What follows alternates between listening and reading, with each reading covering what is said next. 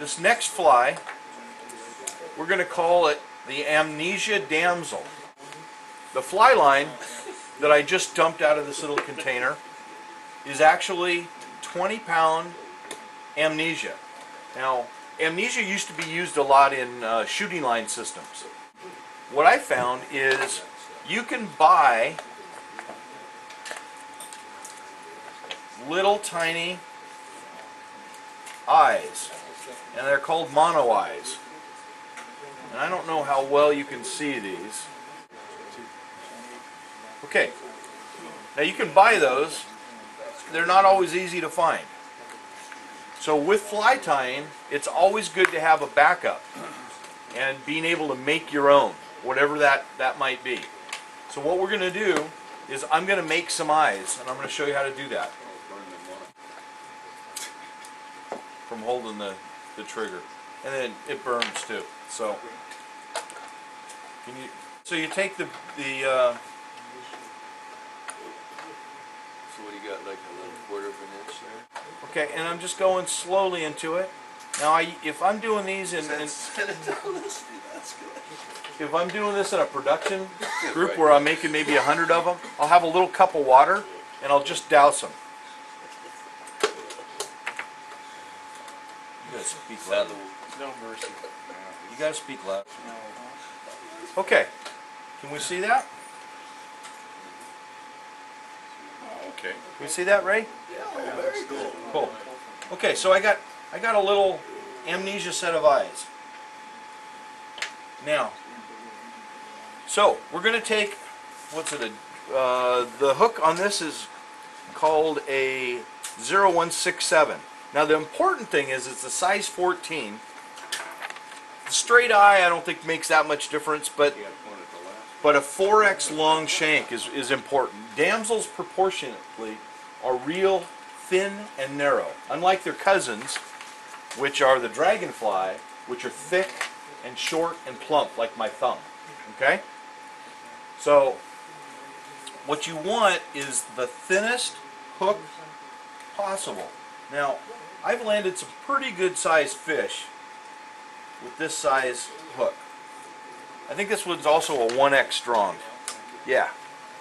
You could technically use like a dry fly hook, but the wire is just a little too thin for, for the size of fish that you're likely to catch. So with this one, I simply tie my thread on the head, trim it, and, and I'm going to tie in these, these eyes. I'm going to hold them with my tweezers. You can hold them with your fingers. All I'm going to do is put them as close to the eye as possible and do some figure eights so that I can lock them in. Okay? You landed on his big.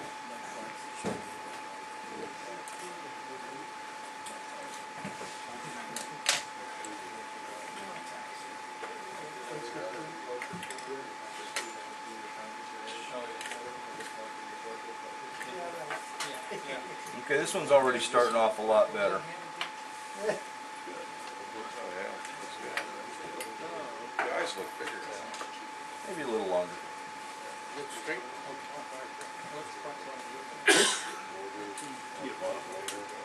Okay.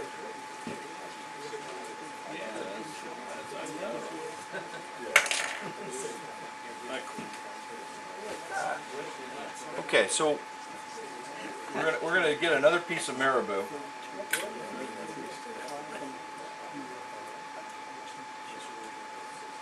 I like I like olive, black, and rust colors. This one here is cheap marabou. Well, drop two and put them in your case.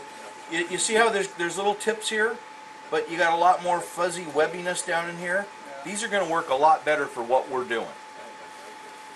Okay? So sometimes a good quality material isn't what you really need to tie.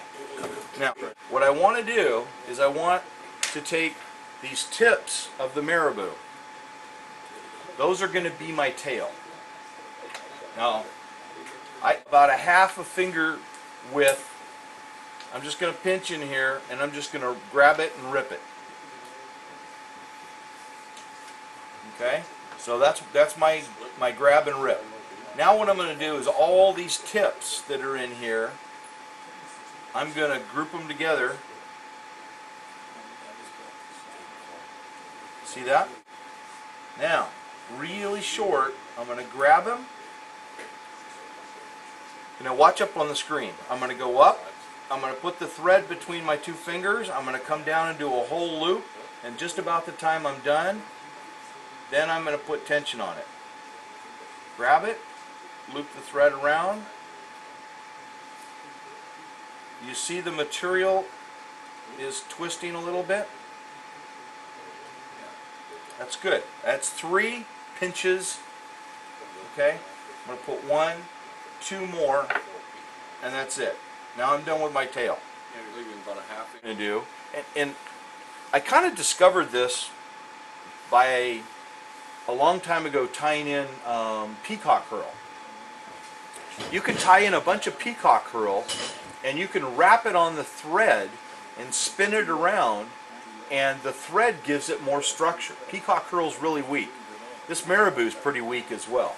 We'll do is we're going to twist this excessive amount that most people just throw away because we've got our tails in there. We could just throw it away and, and put some other material in here, but um, it'll give us a really nice profile if, if we do this right and we got the right material. So when I grab this, I'm going to actually, if I was looking down the shaft of my thread, I'm going to do it um, counterclockwise.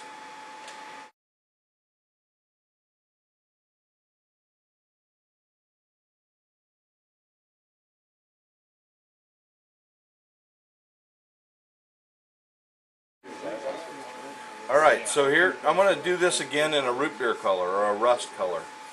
This will probably turn out a little bit better. Okay, so we tie in the tails. So.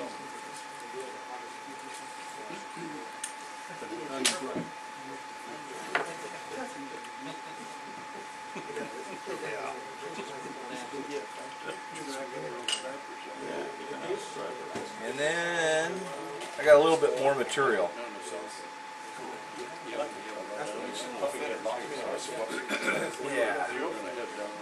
Okay, so we're gonna just wrap it on here. Almost like. Yeah. This one actually turned out pretty good.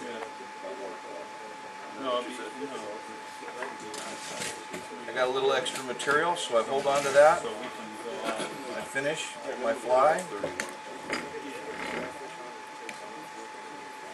About three or four wraps. Keep a good hold of it. Slip the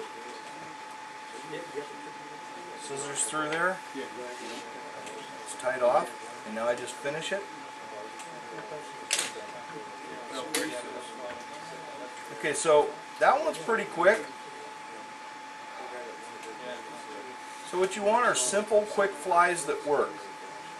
This takes longer to make the guys. Yeah, but if you make them up in a, in a enough ahead of time, it'll it'll go pretty quick.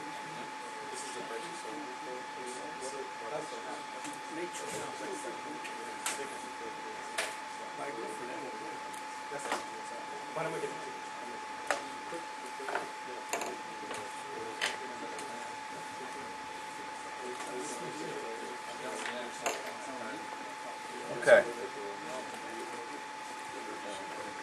Now, what I want everybody to notice with this fly, when I pass it around, the tail's probably a little bit too long, but the body proportion starts out kind of thin and slowly tapers up to a, a thicker body as it gets closer to the head. And as you fish that, those longer fibers up towards the eyes will actually push back towards the rest of the body and give it a little bit more bulk.